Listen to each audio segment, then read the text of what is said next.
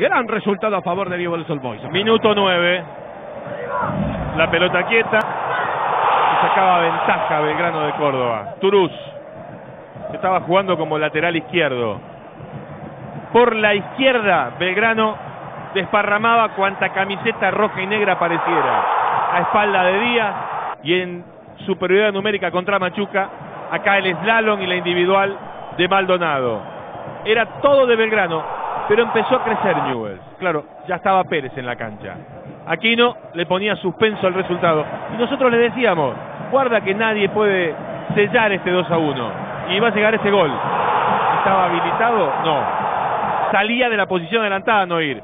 Pero el árbitro no lo vio, tampoco el asistente. Y después el propio Noir, un pase en su cabeza.